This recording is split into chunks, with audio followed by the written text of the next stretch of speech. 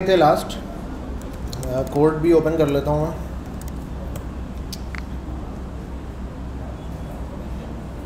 और ज़रा हम देख लेते हैं कि लास्ट तक हमने क्या पढ़ लिया था। अच्छा मुझे बुक चाहिए यहाँ पर। और ये क्या खुला हुआ इनकॉग्निटो खुला हुआ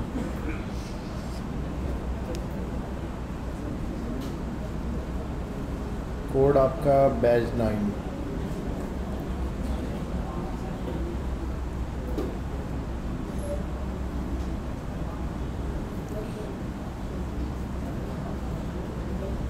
अच्छा जी तो हमने कंडीशन चेकिंग में क्या कुछ पढ़ लिया था कि एक इफ़ स्टेटमेंट उसका स्ट्रक्चर क्या है, उस इफ़ स्टेटमेंट को लिखने में क्या क्या इंग्रेडिएंट शामिल हैं, वो हमने देख लिया था।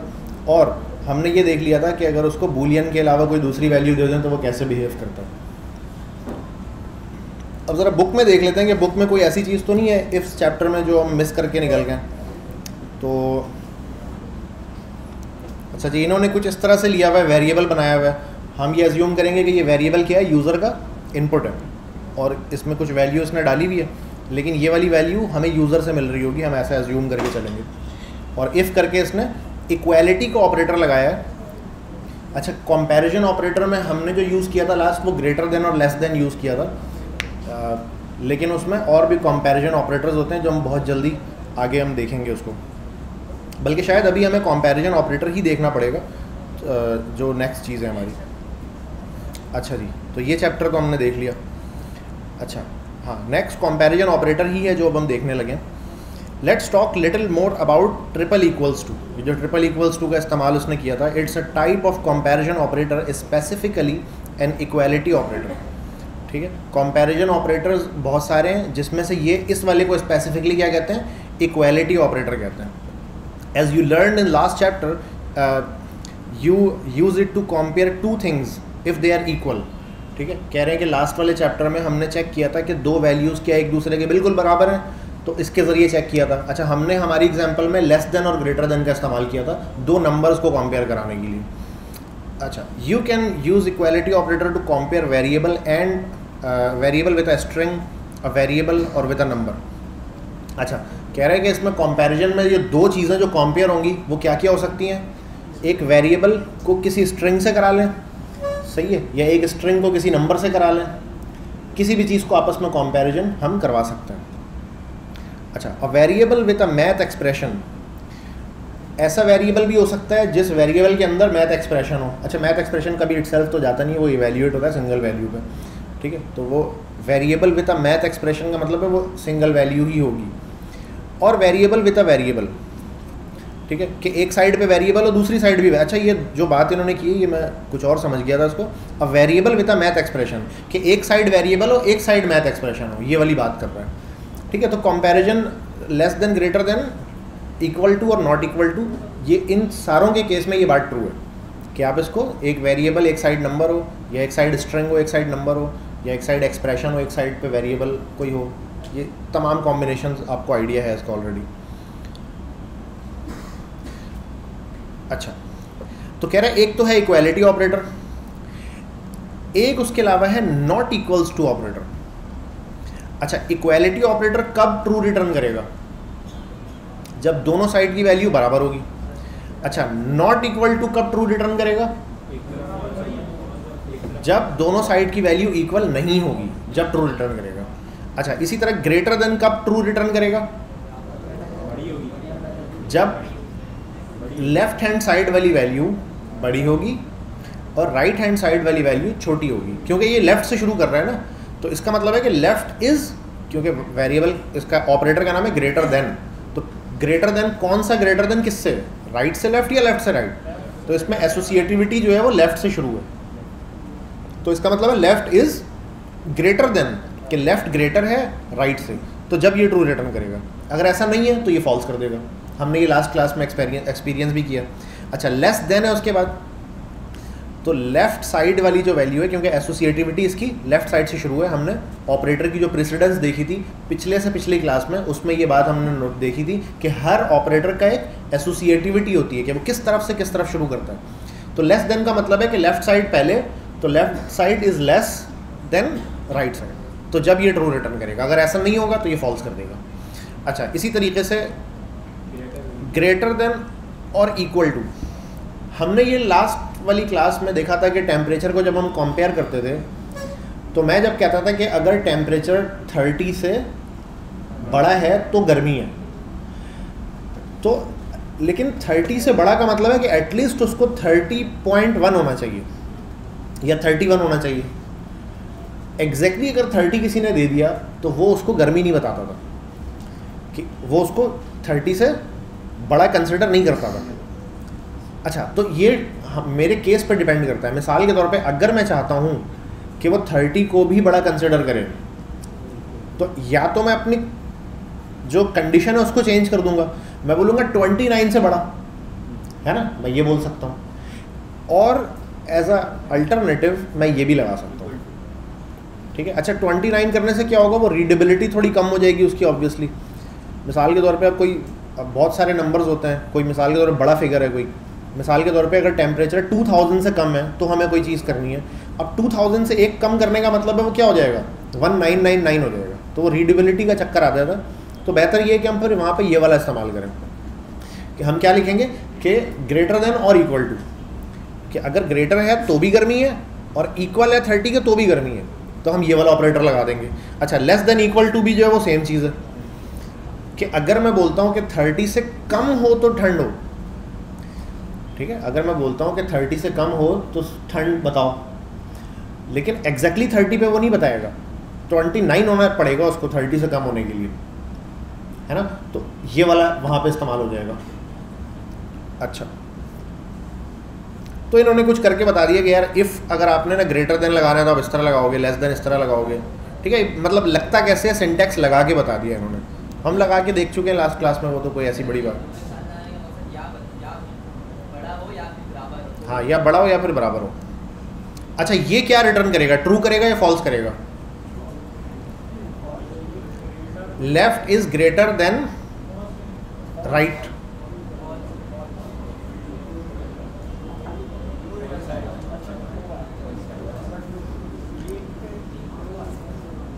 left is greater than और इक्वल टू ज़ीरो क्या ये बात ट्रू है या फॉल्स है? सब लोग इस पर मुतफिक हैं कि ट्रू है ये। सही है? अच्छा ट्रू ये क्यों है? क्योंकि लेफ़्ट साइड वाला बड़ा है और राइट साइड वाला छोटा है। तो ये दो चीज़ें चेक कर रहे हैं ना कि या तो बड़ा हो जाए या तो इक्वल हो जाए। तो बड़ा है, वाले पे ये बात ट्रू हो गई। ठीक है? तो कोई एक भी हो जाएगा ना, बड़ा हो जाए या इक्वल हो जाए। तो ये उसको समझ आ जाएगा कि अच्छा यार कंडीशन सेटिस्फाइड है। ठीक है? अच्छा बाई द वे ये ग्रेटर देन और लेस देन के निशान में किसी को कन्फ्यूज़न होती है? मुझे तो बहुत होती थी। अच्छा तो अब नहीं होती, क्यों नहीं होती, कैसे किया सही?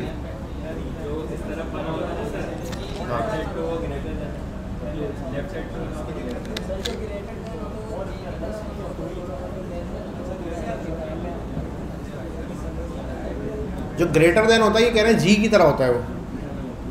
नहीं, मगर जी का तो ऐसे सी की तरह होता है अच्छा जी का जो अंदर मुँह आता है, जो अंदर घूम के जो मुँह आता है, वो उसकी तरह दिखता है। अच्छा।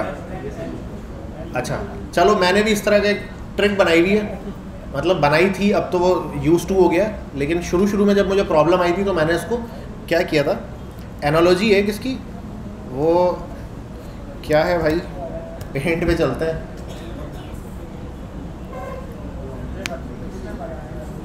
देखो, दो वैल्यू है ना। एक वैल्यू ये, एक वैल्यू ये। तो बीच में इंडिकेटर लगा हुआ है। एक तो ये ना इक्वालिटी का इंडिकेटर क्या भाई दोनों इक्वल है। सही है। अच्छा वो पुराने ज़माने के टीवी में तुमने देखा होगा कि क्या बना हुआ होता था। अगर तो मैं ऐसे कर दूँ तो तो ये इक्वल है। अच्छा लेकिन अगर मैं इसको इमेजिन करो कि यहाँ पे जो ये लगा हुआ है ना, इसके बीच में क्या है? इसके बीच में एक पुली वो है। घूमने वाला वो है। ऐसे ऊपर नीचे होता है ये।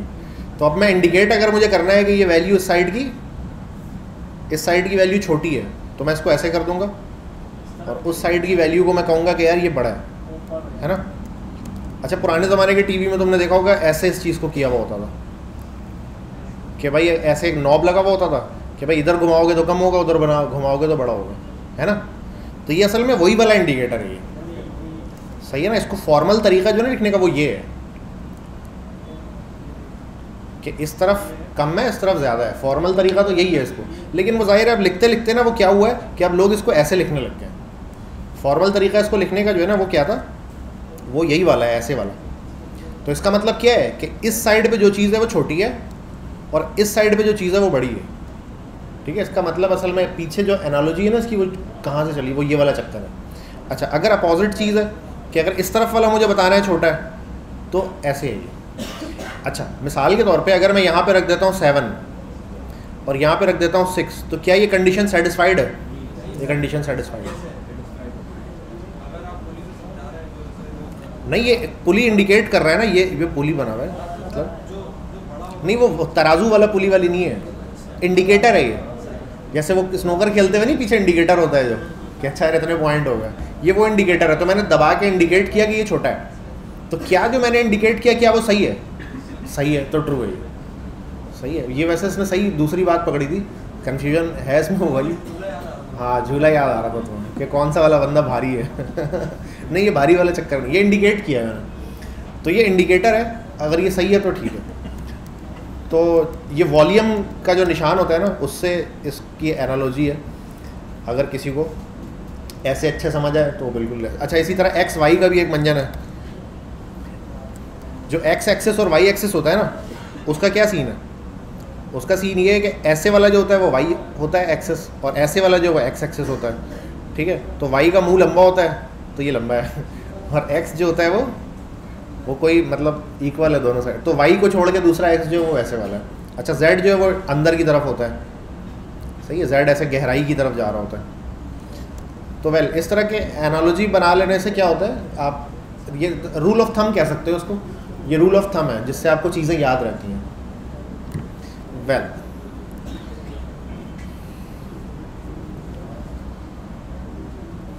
अच्छा ये इफ़ एल्स इफ़ की तरफ़ हम बाद में जाते हैं। ये अभी हम आते हैं। अच्छा कंपैरिजन ऑपरेटर को ना थोड़ा सा हम और देख लेते हैं। Okay okay.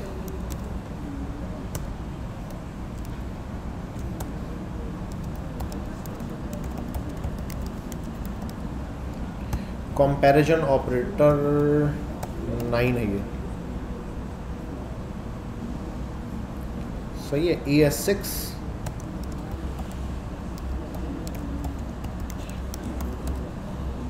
कंपैरिजन की स्पेलिंग मैंने गड़बड़ की है।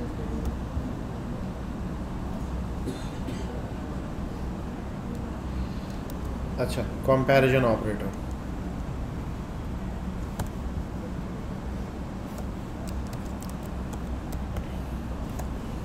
अच्छा कंपैरिजन ऑपरेटर कितने होते हैं? ज़रा वो देख लेते हैं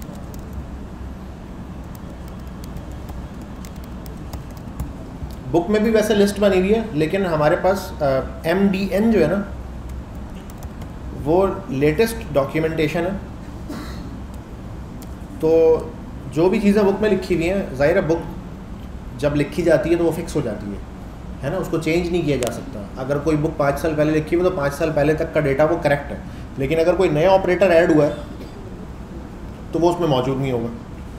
ये on other hand daily update किया जा सकता है एमडीएम तो यहाँ पे आके हम कंपैरिजन ऑपरेटर की जो इन्होंने लिस्ट बनाई हुई है ना, ये ऐसा क्यों हो रहा है? अच्छा।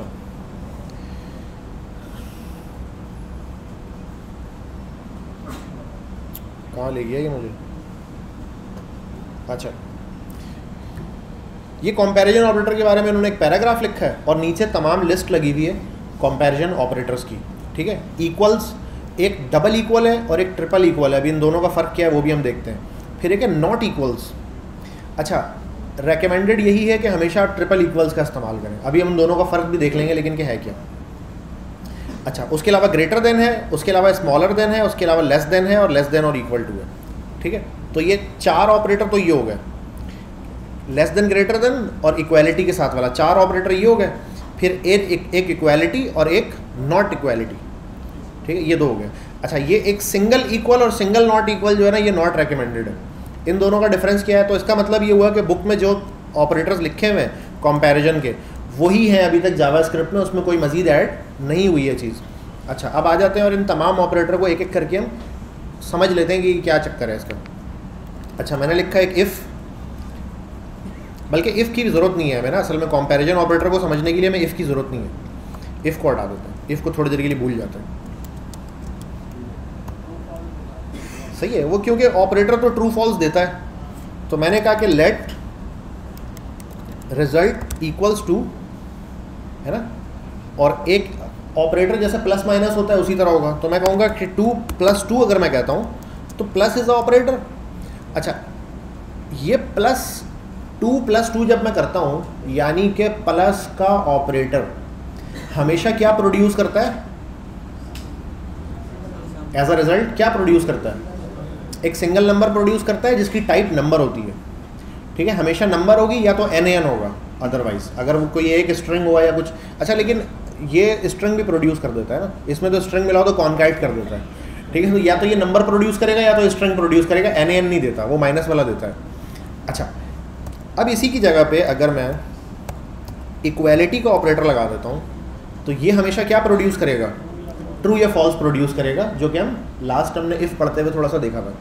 तो जितने भी कंपैरिजन ऑपरेटर हैं as a rule of thumb आपने ये बात याद रखनी है कि जितने भी कंपैरिजन ऑपरेटर हैं, वो हमेशा ट्रू या फॉल्स प्रोड्यूस करेंगे नो मैटर वॉट ठीक है? हमेशा वो ट्रू या फॉल्स करेंगे।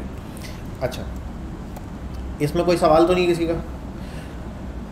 ये क्या प्रोड्यूस करेगा इस वक्त? ये ट्रू प्रोड्यूस करेगा। सही है, क्योंकि ये दोनों बराबर हैं। अच्छा अगर मैं इसका एक इक्वल कम कर दूँ तो दिस इज़ अनदर ऑपरेटर इसमें ट्रिपल इक्वल्स टू में और डबल इक्वल्स टू में डिफरेंस ये है कि डबल इक्वल्स टू जब हम लगाते हैं तो ये टाइप को चेक नहीं करता है। ये सिर्फ़ वैल्यू को चेक करता है। मिसाल के तौर पे अगर ये वाला ट्रू ये वाला जो टू है सही है, वो ऐसे स्ट्रिंग में लिखा हुआ होगा। तो ये जब भी ट्रू एवेल्यूएट करेगा, क्योंकि ये टाइप को चेक नहीं करता जस्ट वैल्यू को चेक करता है, क्योंकि जावा स्क्रिप्ट में आपको पता है पार्स करने में बड़ा तेज़ है जावा स्क्रिप्ट हर चीज़ को पार्स करने की कोशिश करता है। तो इसको टू को नहीं है पार्स करेगा, अगर इसकी वैल्यू सेम हो गई तो ओके कर देगा। सही है तो ये एक फीचर है जावा स्क्रिप्ट का, लेकिन डेवलपर्स इसको डिस्करेज करते हैं कि भाई ये वाला आप काम ना करें, क्योंकि इसमें थोड़ी सी अनप्रडिक्टेबिलिटी आ जाती है। तो इस वजह से इसको रिकमेंडेड नहीं है। तो हम इसको क्या करेंगे? कभी भी हम डबल इक्वल्स टू का इस्तेमाल कोशिश करेंगे ना करें।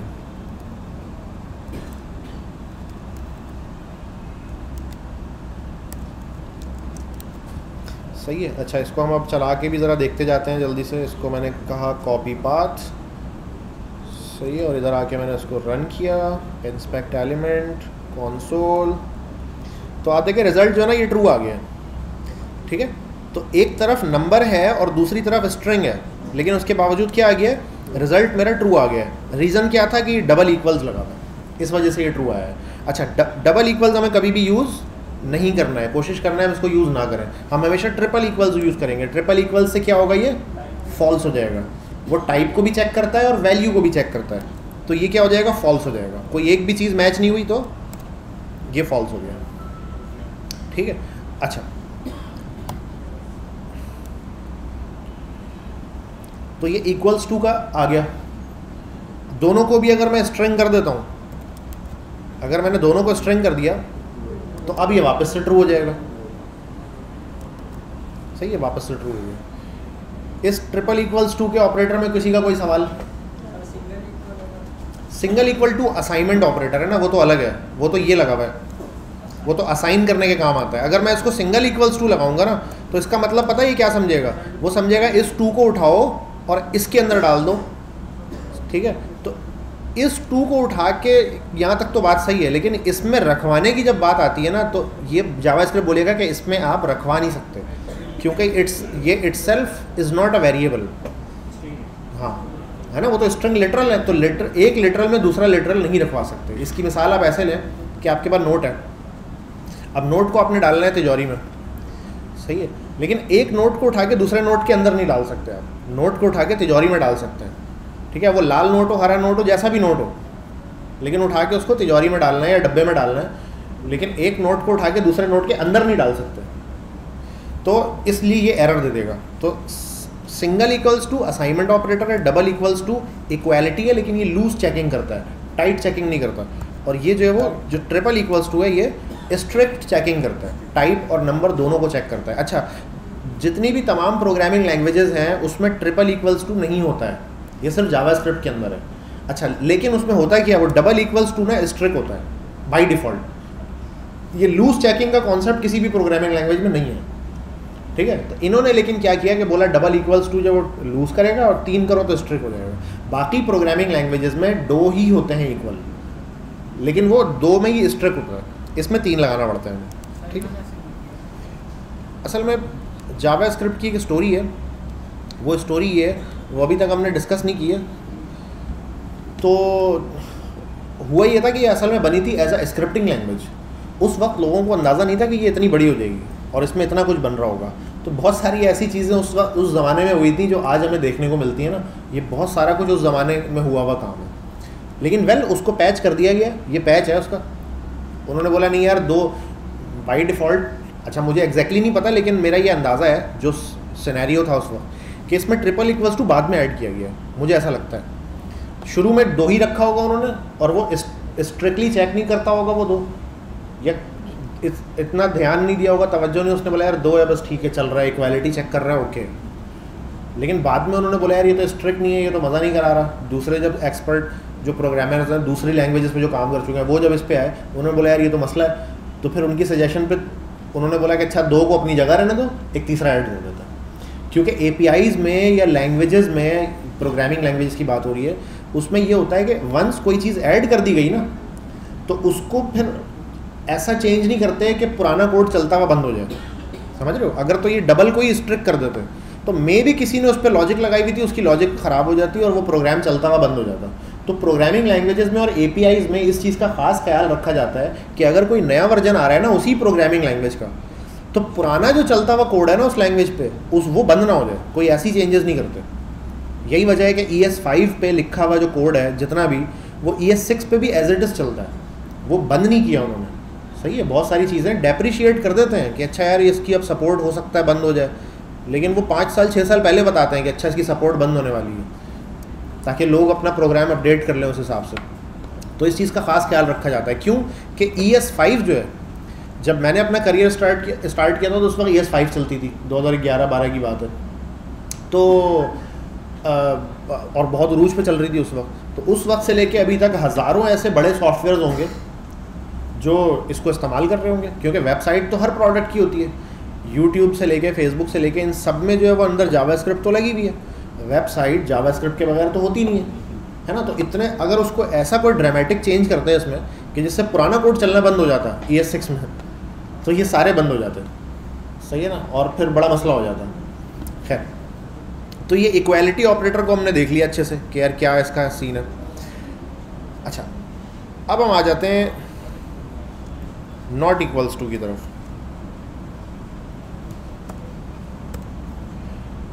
ऊपर वाले को कमेंट कर देता हूँ। नॉट इक्वल टू जो है भाई, वो क्योंकि उसका एग्जैक्ट अपोजिट है तो इसमें वो चेक करता है कि टाइप भी इक्वल ना हो और वैल्यू भी इक्वल ना हो। लेकिन पहले वो किसको चेक करता है? पहले वैल्यू को चेक करता है। वैल्यू इक्वल नहीं है तो पहले ही बता देता है कि अच्छा ठीक हो गया जी वैल्यू इक्वल नहीं है। ठीक है? तो इस केस में ये क्या देगा? फॉल्स देगा। ठीक है? इस केस में ये फॉल्स देगा क्योंकि अभी तो दोनों इक्वल है। फॉल्स दे दिया इसमें ठीक है? मैंने कहा था कि two is not equals to two तो ये बात गलत हो गई। ठीक है? ये इंडिकेटर जो था मेरा कि two is not equals to two ये स्टेटमेंट जो मैं बोल रहा हूँ कि two is not equal to two this statement is false तो इसने इवेल्यूएट इसको किया कि भाई फॉल्स है अच्छा अगर मैं किसी एक का ये स्ट्रिंग हटा दूँ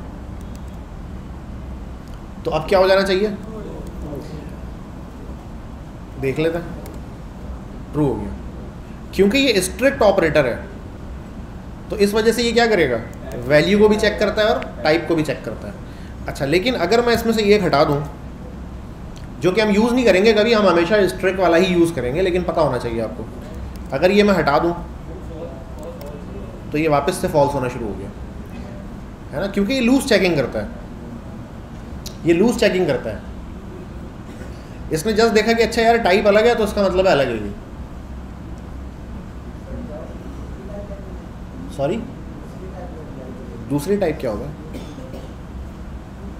लूजली टाइप्ड हाँ। नहीं लूजली टाइप्ड तो नहीं है, खैर। इसको असल में डायनेमिकली टाइप्ड कहते हैं।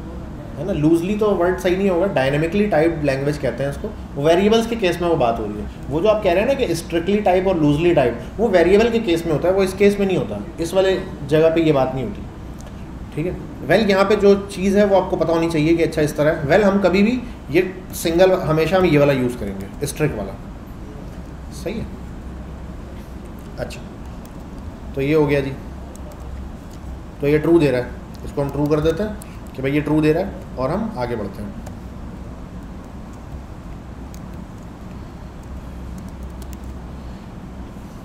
अच्छा उसके बाद हमारे पास है ग्रेटर देन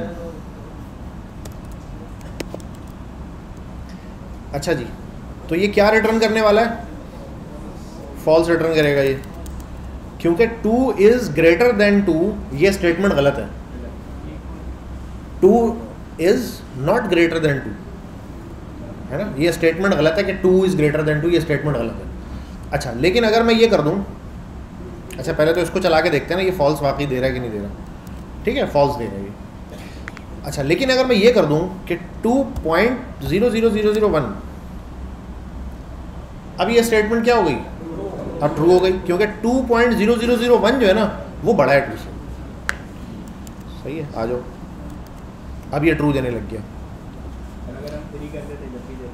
हाँ थ्री कर देते जब भी देता, लेकिन मैं एटलीस्ट कह रहा हूँ कि एटलीस्ट एक पॉइंट बड़ा होना चाहिए।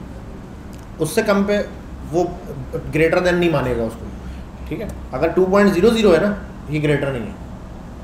सही है? टू पॉइंट वन या एटलीस्ट समथिंग कुछ भी बढ़ाओ थ्री हो जाए भले मतलब कुछ बढ़ाओ तो फिर उसको ग्रेटर देन मानेगा ये।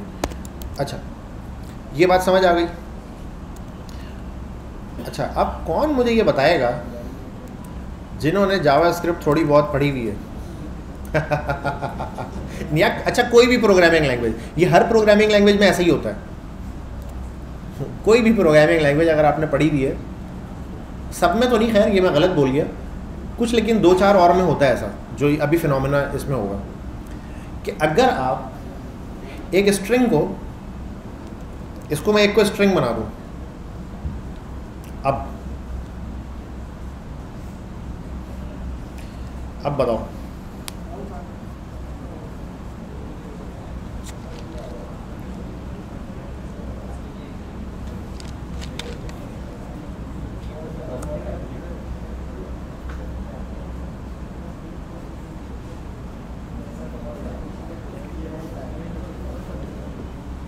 एक दोस्त कह रहे हैं फॉल्स आएगा।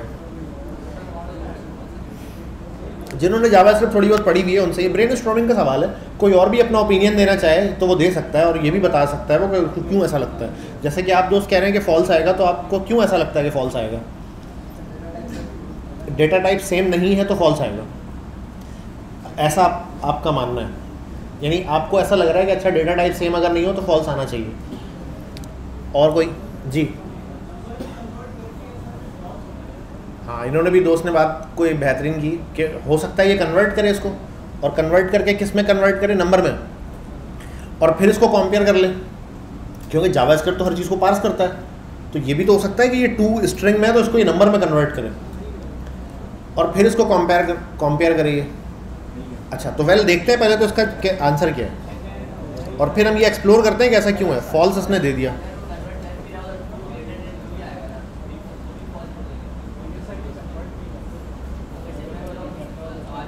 अच्छा इसको इसको हम कंफर्म कर लेते हैं कंफर्म कर ले। ये कह रहा है कि अगर कन्वर्ट भी कर रहा है तो हमें ये कैसे कंफर्म करें हम कि वाकई कन्वर्ट कर रहा है या नहीं? क्योंकि सब बात सही है, अगर कन्वर्ट कर रहा होता तो फॉल्स आता ही है।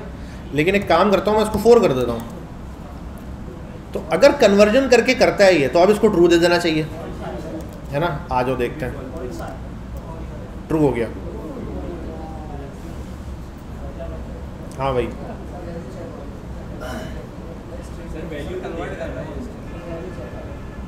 बताओ। है? अच्छा एक काम अब और करते हैं। इसको 22 कर देते हैं। ऐसा कंफर्म हो गया ना कि अच्छा यार, ये कन्वर्जन ही करता है, उसको कन्वर्ट करता है और फिर उसको कॉम्पेयर मारता है। तो एक और सिनेरियो है।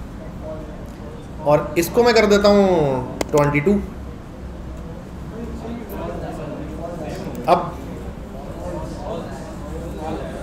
अच्छा नहीं, इसको ट्वेंटी थ्री करना पड़ेगा ना मुझे। इसको मुझे ट्वेंटी थ्री करना पड़ेगा। तो अब ये ट्रू हो जाना चाहिए ना। देखते हैं कि अब ट्रू होता है या नहीं होता। अरे यार। असल में मैं तुम लोगों को कहीं पहुंचाना चाह रहा हूँ, उसके लिए करना ज़रूरी है। अभी मुझे सोचने दो कि कौन सा वाला जो है ना, वो होगा।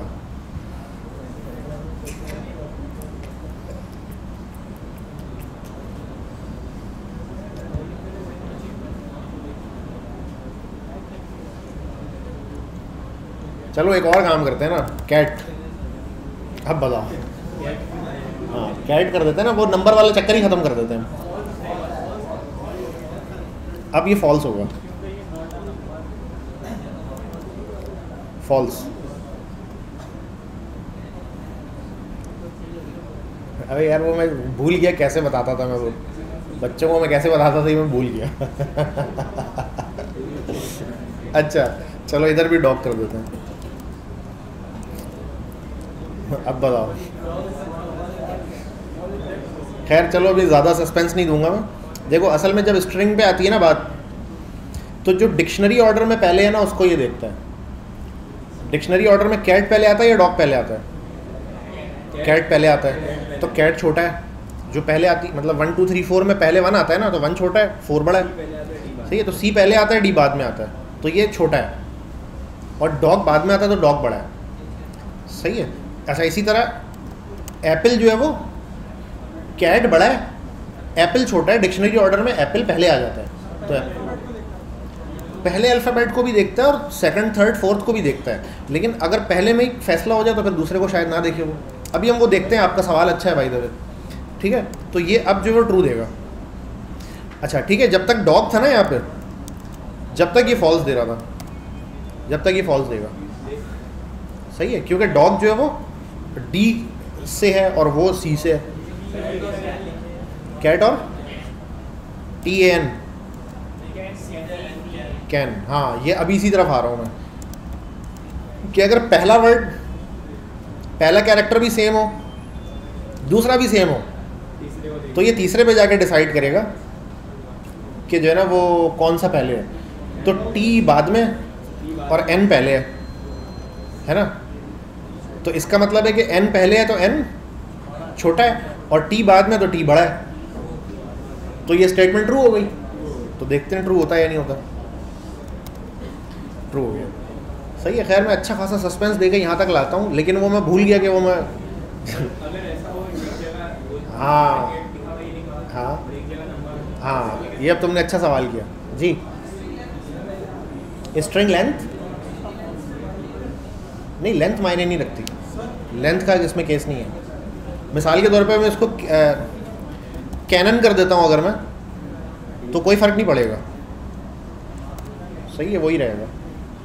लेंथ का चक्कर नहीं है। नमाज़ का टाइम हो गया? अच्छा अभी भेजता हूँ दो मिनट में। अभी भेजता हूँ। अच्छा ये स्ट्रिंग अगर दोनों तरफ़ स्ट्रिंग है अच्छा ये लेस देन में भी सेम बात है। वो अपोजिट होगा, लेकिन चीज़ यही है, वो भी। ठीक है? हाँ अभी मैं उस नंबर की तरफ़ आ रहा हूँ। अच्छा स्ट्रिंग में सिर्फ़ कैरेक्टर्स तो नहीं होते नंबर भी हो सकते हैं। ठीक है? तो जब नंबर्स होंगे स्ट्रिंग में तो नंबर भी नंबर का भी जो है ना, एक डिक्शनरी ऑर्डर होता है। अच्छा डिक्शनरी ऑर्डर असल में होता क्या है? डिक्शनरी ऑर्डर ये होता है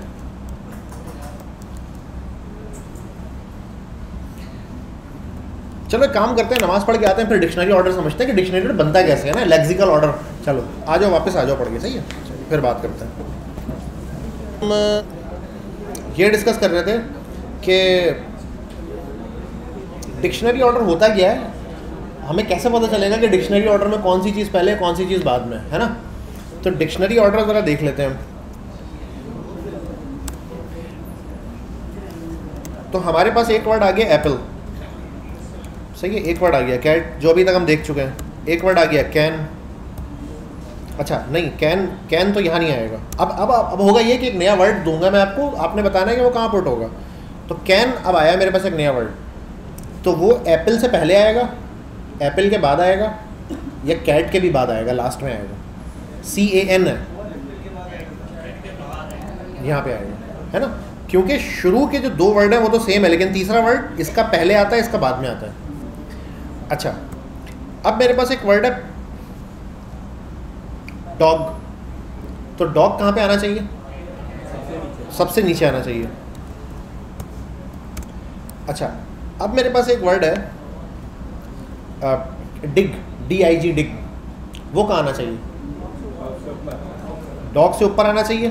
बिल्कुल, क्योंकि डी आई जी जो है ये आई पहले आ जाता है ओ बाद में आता है। पहला तो कैरेक्टर सेम है लेकिन आई पहले आता है ओ बाद में आता है। सही है लास्ट को तो चलो शुरू से देखना शुरू करता है ये।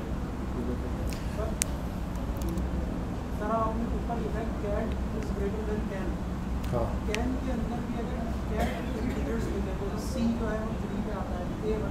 नहीं नहीं वो डिक्शनरी ऑर्डर में कौन पहले आएगा कौन बाद में ये देखेगा। तो डिक्शनरी ऑर्डर में कैट पहले है या कैन पहले है? कैन पहले है तो ये छोटा है। जो बाद में वो बड़ा है ना? वन टू थ्री फोर में वन पहले है फोर बाद में तो फोर बड़ा है वन ऐसे होता है ना? तो ये वो वाला चक्कर है। ठीक है? अब इसको आप अपनी एनालॉजी में जैसे भी आप समझें, लेकिन असल में बात ये हो रही है कि जो बाद में डिक्शनरी ऑर्डर में, उसको ये बड़ा कंसिडर कर रहा है। अच्छा अब अगर हम बात करें नंबर के केस में तो ये कैसे होगा? तो इसके लिए हमें देखना होगा, देखो पहले क्या होता है कि जितने भी वर्ड ए से आते हैं उन सबको एक पहले लेते हैं ये, डिक्शनरी ऑर्डर में।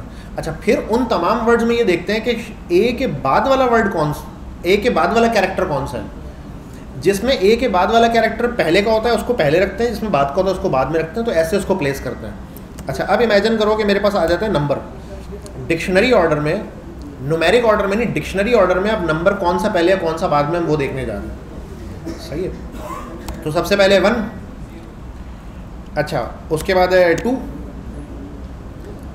सही है, उसके बाद है थ्री उसके बाद है फोर उसके बाद है फाइव सिक्स सेवन भी चलो ठीक है, यहीं पर है। एट नाइन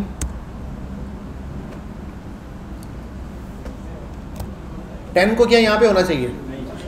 कहाँ होना चाहिए? जो वन से शुरू होने वाले वहाँ होना चाहिए ना। तो ये टेन असल में यहाँ नहीं होगा। ये होगा इधर। समझ रहे हो बात? अच्छा अब मैं इसके आगे जितने मर्ज़ी ज़ीरो लगा दूँ।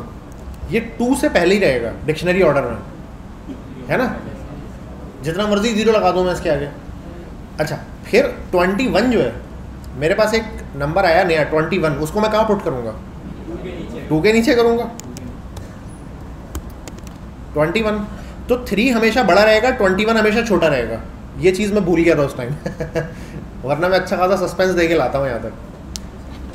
तो मुझे कोई ऐसा नंबर सूझ रहा नहीं था उस वक्त कि यार, अब ये मैं बताता कि थ्री बड़ा है और ट्वेंटी वन छोटा है। ये वाला करके दिखाना चाह रहा था मैं।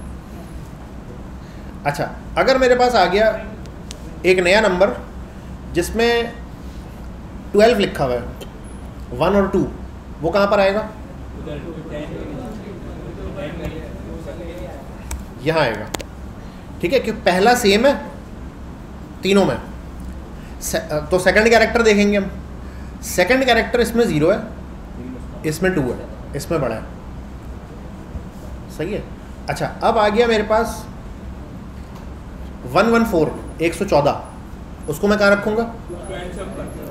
इसको ट्वेल्व से ऊपर रखूँगा मैं। बिल्कुल सही बताते जा रहे हो। यहाँ होगा। क्योंकि शुरू का, इसमें वन सेम है। लेकिन यहाँ ज़ीरो है, यहाँ वन है और यहाँ टू है। तो इसको ज़ीरो और टू के दरमियान में ये वाला आएगा। तो ये है डिक्शनरी ऑर्डर में। यानी ज़ाहिर है स्ट्रिंग में अगर यूज़र मुझे इनपुट दे रहा है, लेकिन नंबर लिखा है उसने तो वो इस ऑर्डर में बनेगा। अच्छा इसका मैं आपको थोड़ा सा एक्सपेरिमेंट भी दिखा दूँ। हमारे पास अभी यहाँ पे कितने फोल्डर बन चुके हैं? सी एस एस के हमारे पास वन से लेके फोर्टीन तक के फोल्डर बने थे ना। वन से लेके फोर्टीन तक के फोल्डर बने थे। अब गिटहब में जाके दिखाऊँगा तो ये कैसा दिखता है दिखाना, देखना। गिटहब क्योंकि उसको डिक्शनरी ऑर्डर में प्लेस कर रहा है। अब दिखाता हूँ मैं तुम्हें गिटहब में ये कैसे रख रहा है उसको। बैज नाइन में गया। सी एस एस के फोल्डर में गया। ये देखो। वन उसके बाद ten eleven twelve thirteen fourteen और उसके बाद टू ये पहला कैरेक्टर असल में देख रहा है वन है तो ये पहले है ये टू बाद में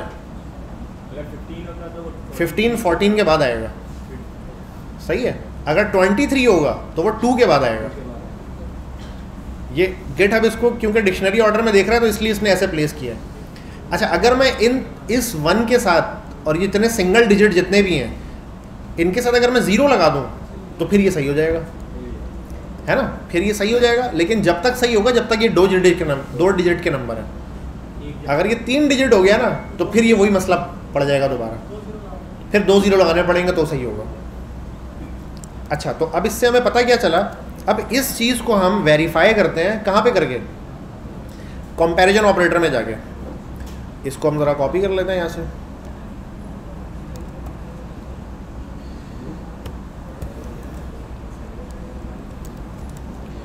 अच्छा जी। तो एक तरफ़ मैं रख देता हूँ वन, और एक तरफ़ मैं रख देता हूँ ये नीचे वाला वन थाउज़ेंड तो वन छोटा है और ये बड़ा है है ना? तो मैंने कहा कि वन छोटा है और ये बड़ा है। मैंने इंडिकेटर इसमें सही लगा दिया तो इसका मतलब ये ट्रू है। देखते हैं ये ट्रू होता है कि नहीं होता।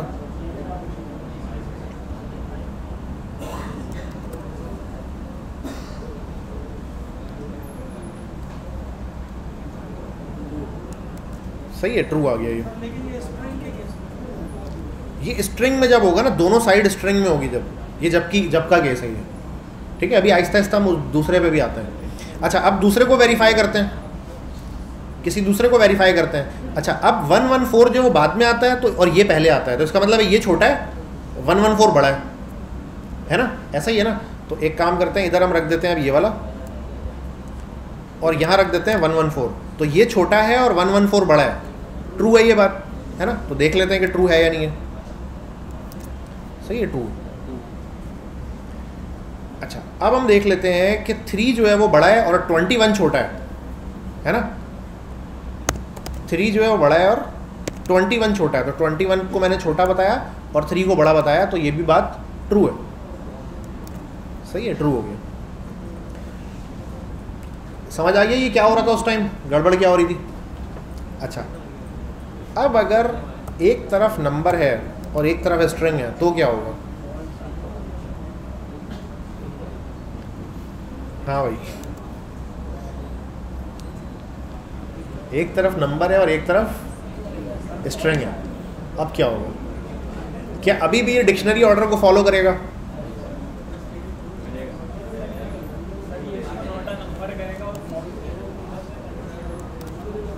फॉल्स दे दिया इसने। अच्छा तो आपके ख्याल में ये नॉट अ नंबर की वजह से इसको नॉट अ नंबर कर रहे हैं? नहीं नॉट अ नंबर तो जब करेगा, जब स्ट्रिंग में कोई अल्फ़ाबेट होगा। जब तक यहाँ नंबर है। नहीं, कुछ तो एनालॉजी ले रहा है इसमें से। कुछ तो एनालॉजी ये ले रहा है ना, जब भी तो ट्रू या फॉल्स बता रहा है। अच्छा एन एन नहीं होगा, क्योंकि एन एन तो जब तक नहीं होता, जब तक कोई अल्फ़ाबेट नहीं आया था। अभी तक मैंने कोई अल्फ़ाबेट रखा ही नहीं है इसमें। तो ये फॉल्स कर दिया इसने। फॉल्स करने का मतलब है कि ये तो इसमें स्ट्रिंग डिक्शनरी ऑर्डर को भी भूल चुका है, क्योंकि एक तरफ़ नंबर आ गया। अच्छा तो इसको ज़ाहिर है किसी ना किसी नंबर में कन्वर्ट कर रहा होगा ये। अच्छा नंबर में कन्वर्ट करने के क्या पॉसिबल तरीका हो सकता है? एक तो ये कि 21 को एज इट इज़ 21 नंबर समझ ले रहा हूँ। है ना? तो उसको वेरीफाई करने के लिए हम क्या करेंगे? मैं इस पर 22 दूँगा। तो 22 को बड़ा बताना चाहिए। 21 जैसी करूँ तो फॉल्स हो जाना चाहिए। करके देखते हैं। 21 तक ये ट्रू बता रहा है। ट्वेंटी टू तक ये ट्रू बता रहा है। अब जैसे ही ट्वेंटी वन करूँगा मैं तो ये फॉल्स हो जाना चाहिए। फॉल्स हो गया। सही है। तो एक तरफ़ नंबर है और दूसरी तरफ़ स्ट्रिंग है अगर।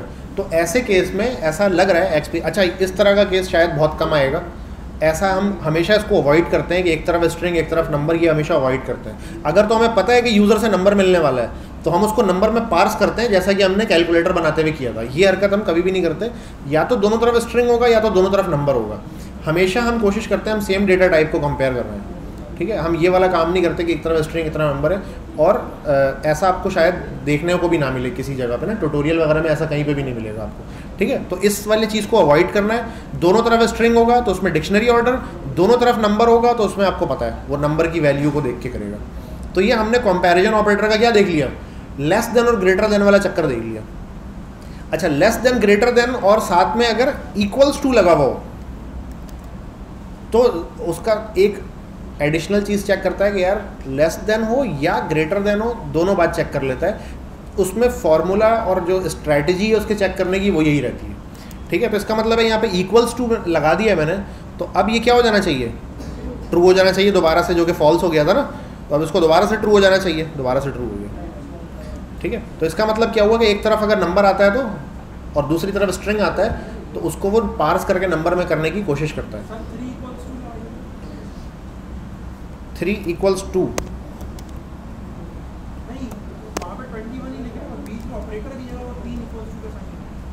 ये वाला ये this is not an operator ये कोई ऑपरेटर नहीं है जावा से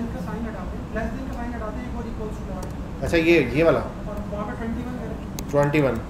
हाँ तो अभी भी ये ट्रू देगा आई थिंक नहीं ट्रू नहीं देगा ये क्योंकि तीन इक्वल है ना। ये तीन इक्वल में टाइप भी चेक करता है वो इक्वालिटी का। हाँ तो ये ट्रू नहीं देगा। ये फॉल्स कर देगा उसको। अगर मैं इसको डबल कर दूँ इक्वल टू तो वो आपको हम करके देख चुके हैं पहले ही। डबल में ये बता देगा कि हाँ यार, ये ट्रू है। ठीक है? तो हमने कहा कि लेस देन और ग्रेटर देन और साथ में इक्वल्स टू लगा सकते हैं। अच्छा एक चीज़ हमेशा याद रखिएगा कि ये लेस देन का ऑपरेटर है ना? तो लेस देन और इक्वल टू होता है हमेशा। जिस तरह बोला जा रहा है ना, इसी तरह लिखा जाता है इसको। और ग्रेटर देन और इक्वल टू होता है। ठीक है? तो अगर ग्रेटर देन होगा ना तो ऐसे लिखेंगे और इक्वल टू हमेशा आगे आता है। इक्वल टू अगर पहले लगाओगे ना तो ये एरर है। अच्छा इसका कुछ और मतलब है जावा स्क्रिप्ट में एक्चुअली मगर ये एरर है फ़िलहाल के लिए। ठीक है? तो हमेशा ग्रेटर देन या लेस देन वो पहले होगा और इक्वल्स टू बाद में होगा। और चेक भी ये इसी ऑर्डर में करता है। पहले ग्रेटर देन या लेस देन को चेक करेगा। फिर इक्वल्स टू को ये चेक करेगा ठीक है? तो चेक भी इसी ऑर्डर में कर रहा होता है। अच्छा जी तो कंपैरिजन ऑपरेटर को हमने अच्छे से देख लिया। अब हम आ जाते हैं अपने अगले टॉपिक की तरफ़ जिस पे हम ये आ,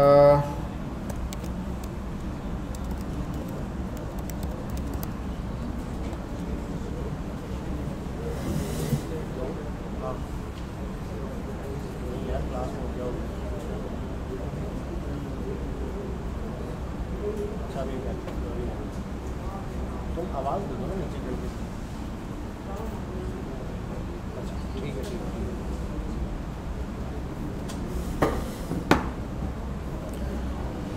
अच्छा जी